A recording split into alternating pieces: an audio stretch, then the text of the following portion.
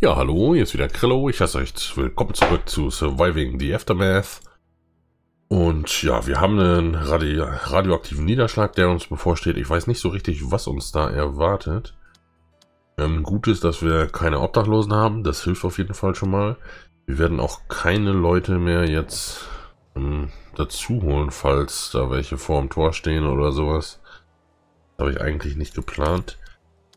Ähm, was wir sicherlich noch verbessern können. Jetzt mal eben schauen, worunter das fällt. Okay. Da, Schiffzug. Möchte ich noch bauen, dass wir noch mehr Metall abbauen können. Und zwar soll der direkt dahin, um die Wege hier kürzer zu halten, weil das wird so langsam weniger. Und wir haben immer so wenig Metall, dass wir das sicherlich so verbessern können. Ähm, darüber hinaus... Hm,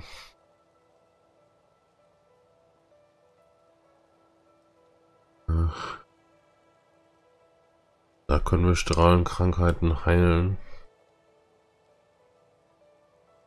Wo ist hier der Unterschied? Achso, die werden hier schneller geheilt und höhere Kapazität. Materialien haben wir ausreichend. Dann bauen wir hier noch ein zweites.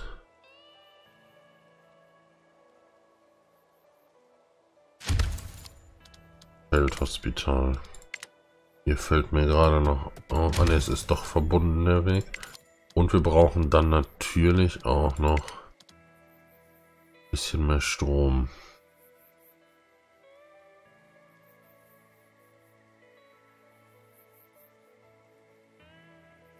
Ja, wir haben alles. Ne, wir haben das Metall nicht. Aber das haben wir dafür auch nicht. Trotzdem auch mal eine Windturbine bauen.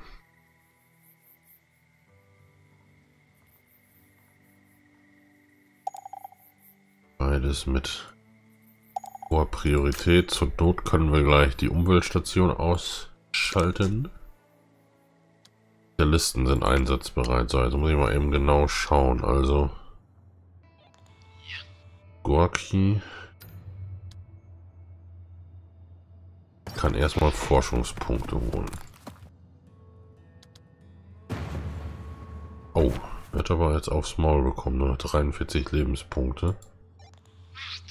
Muss dann gleich erstmal zurück dich heilen. Plätti kann hier Medikamente einsammeln. Du hast die Antibiotika bei dir. Dich schicken wir mal zurück. Oder Jodtabletten. Ich weiß eben immer noch nicht genau, was das ist. Und du sammelst mehr Obst ein. So, weiter geht's. Bereiten wir uns auf die Krise vor. Müssen wir noch irgendwas ernten? Können wir noch? Hier habe ich es, glaube ich, überall schon eingestellt. Ja, hier müssen wir es gleich noch. Hm, was wir vielleicht auch noch bauen können, ah, fehlt uns auch wieder Metall. Das gibt's doch nicht. Noch mehr Wassertürme. Ja, machen wir vielleicht.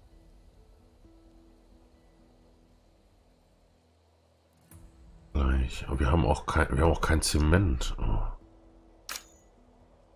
Okay, wir haben noch irgendwo hier, da. Eine große Zementruine. Und die nehmen wir jetzt an. Ich habe übrigens was herausgefunden. Man kann mit dem Mausrad und der STRG-Taste diesen Bereich hier verändern.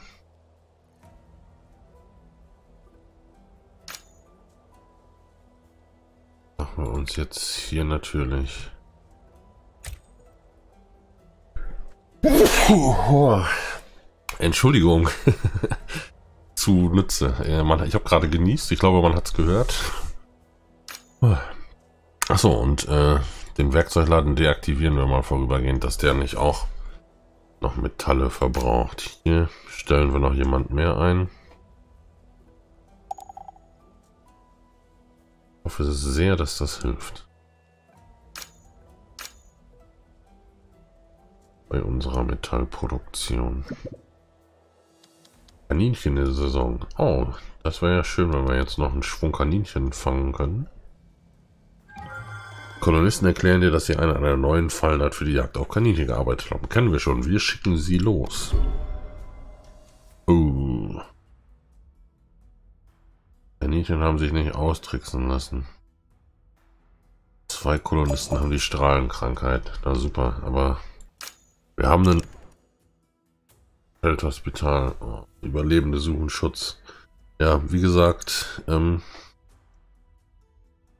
wir können das Ganze ja mal vorläufig ignorieren. Aber eigentlich kann die halt nicht aufnehmen. Das geht nicht. Wir haben nicht den Platz. Vorrat an Kleidung geht zu Ende, okay. Achso, ne, die Meldung ist ja nicht neu, die hatten wir gerade schon. die Spezialistenmeldung, die ist neu. So, du hast noch 43 Punkte. Das ist mir eigentlich zu riskant. Riskieren dich da zu verlieren.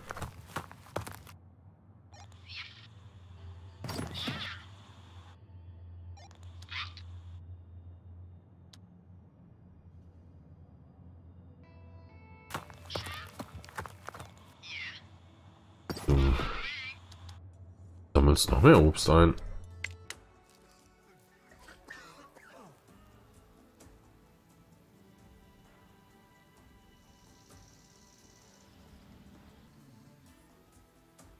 Hätte ich mir auch nicht träumen lassen, dass mal die, dass es Zement knapp wird. Hat nur eigentlich recht gut im Griff, dachte ich mal.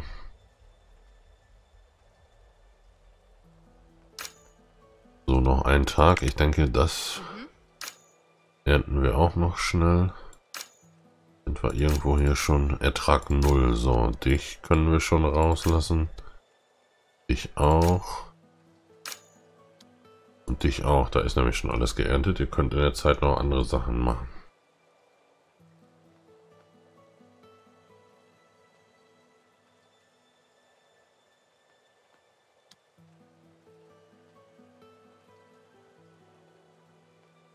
Wir haben drei Ziegel hierfür, also dreimal Zement.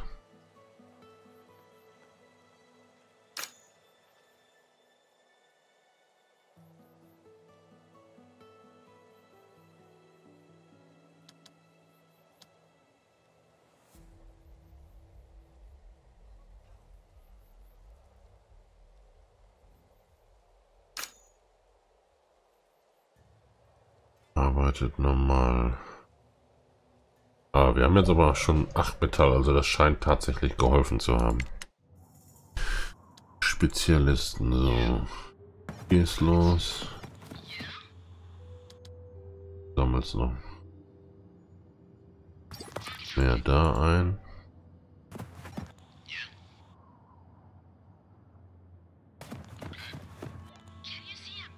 Und den einen Teil Obst schenken wir uns. Gehen wir hier hin. Zurück, schauen uns noch an, was es da gibt. Noch ein Lager. Okay. Ertrag 0. So, auch dich können wir dann entlassen. Ertrag 0. Euch drei.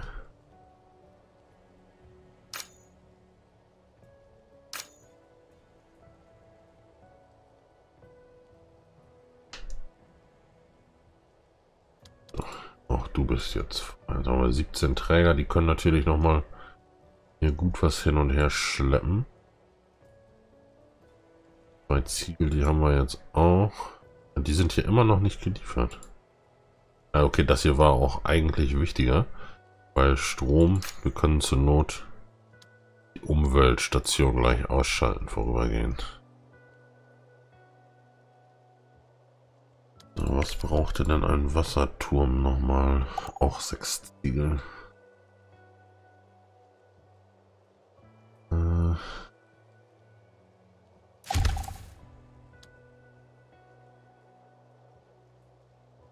Wird den mal... So, der... Das Feldhospital wird gebaut, sehr gut. Dann deaktivieren wir den und dann haben wir doch Genau, Strom im Überhang. Sehr schön. Ich glaube, das werden wir nicht mehr alles ernten. Kolonistenanfrage. Einige wollen sich außerhalb des Tors umsehen. Auf die Jagd gehen, ja. Ihr dürft auf jeden Fall. Jawohl! 28 Wild. Das ist super. Wir haben 125 Nahrung. Richtig, richtig, richtig gut.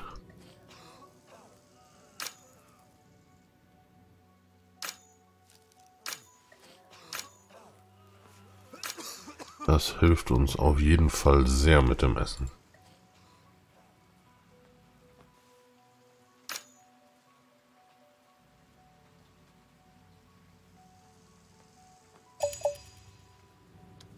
Kolonist Jack ist infiziert.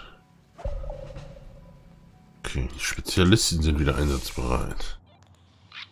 Bei dir reicht es nicht ganz.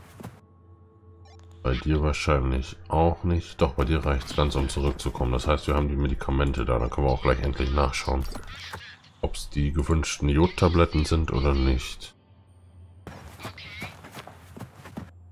So, Medikamente. Ja, ah, da sind Antibiotika, okay. Ja, es wird trotzdem nicht schaden, dass wir die haben.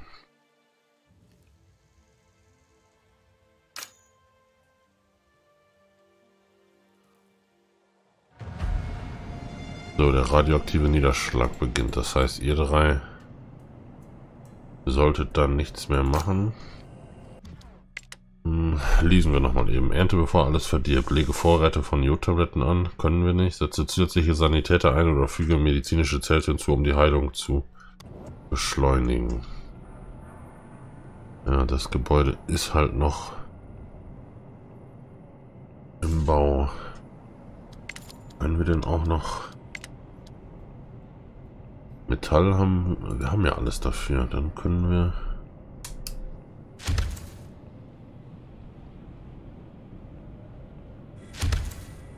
Nochmal zwei medizinische Zelte bauen.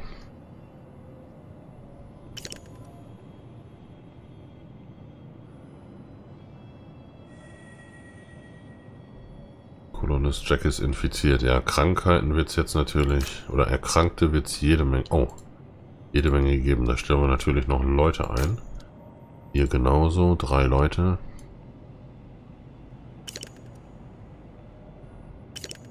Damit wir möglichst viele geheilt bekommen. Hier zwei. Und wenn das gleich fertig ist. Auch hier zwei. So, jetzt können wir schon mal, glaube ich, Schnell heilen. Vier Kolonisten sind verstrahlt. Okay. So, Weltkarte. Du heilst noch. Du musst erstmal dahin zum Heilen. Du hast noch mehr Medikamente, die wir ja besser heute als morgen brauchen. Du bringst uns Essen. Okay. So, jetzt müssen wir hier mal schnell ein bisschen Zeit überspringen. Ich glaube, wir haben das mit den Verstrahlten im Moment sehr, sehr gut im Griff.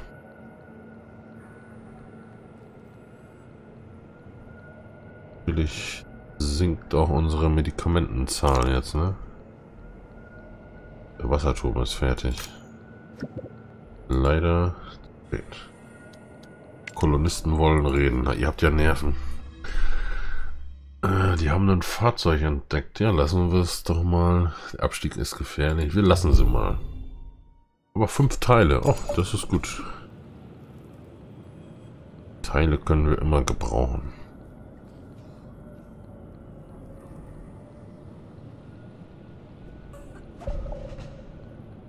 Spezialisten einsatzbereit. So.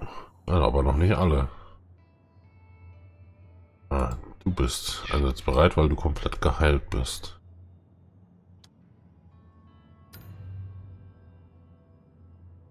Kannst dich mal aufmachen in Richtung der Forschungspunkte.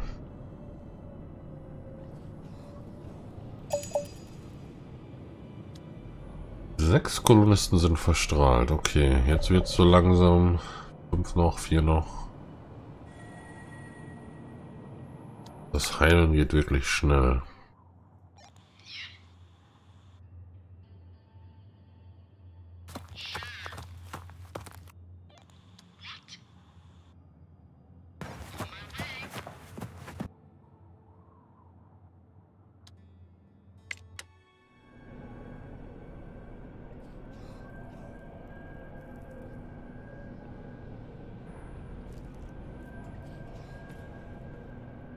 Zufriedenheit ist sehr gering. Ja gut, aber wegen der Strahlenkrankheiten. Ne?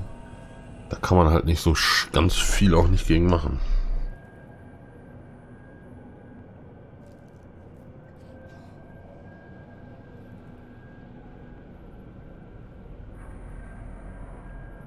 Oh ja, jetzt, man sieht es schon, jetzt sind es nur noch 28 und wir haben auch endlich mal ein wenig Metallvorrat. Sehr gut.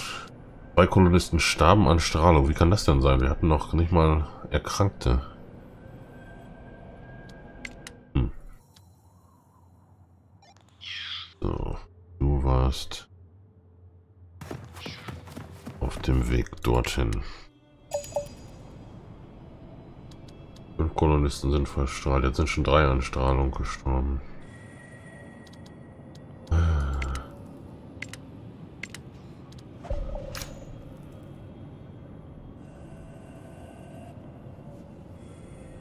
Ja, mehr als das, was ich gemacht habe, kann ich auch leider nicht machen. So, du bist genesen, dann... Ja. Wir räuchern mal nach und nach unsere Feinde aus.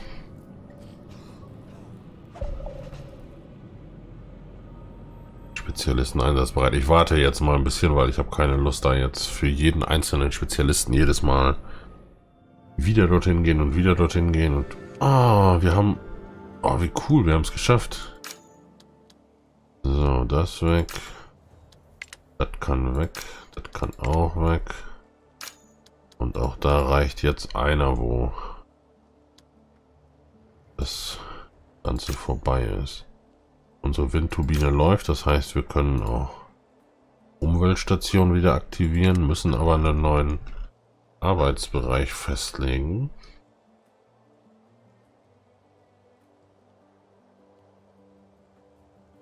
Machen wir mal das hier sauber. So, dann brauchen wir hier Angestellte für die Großen machen wir mal zwei. Die Pause wird unterbrochen. Und hier jeweils eine Person. Dann haben wir noch sieben, die tragen können. Okay. Sklavenhändler. Ja. Den müssen wir natürlich retten. Was wir jetzt machen. Wir haben zwar 20 Wild verloren, aber Nahrung. Wir haben noch ein bisschen. Wir können jetzt wieder anbauen. Ich glaube, das passt so alles ganz gut. Weltkarte. So, du bringst Medikamente. Du bringst Medikamente und ach ja, wir kriegen ja jetzt auch noch mal jede Menge Nahrung. Okay, dann haben wir das definitiv im Griff.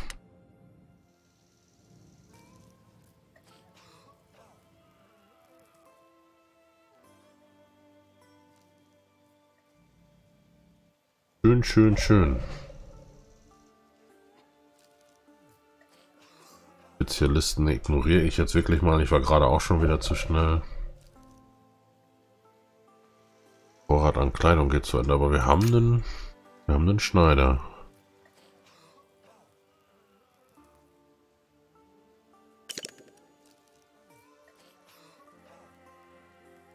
Nora ist jetzt erwachsen. Oh, wie praktisch. Da haben wir noch eine helfende Hand.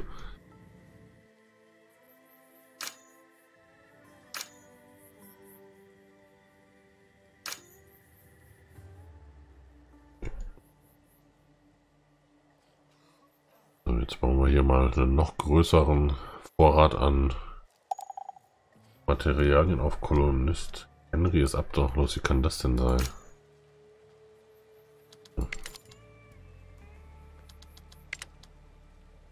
Okay, dann gibt es mehr Baracken.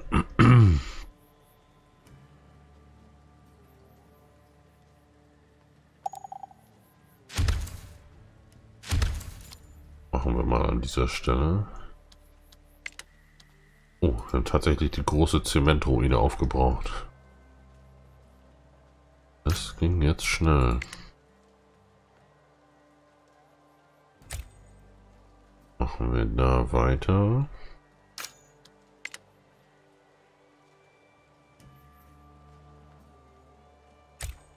Packen den dorthin.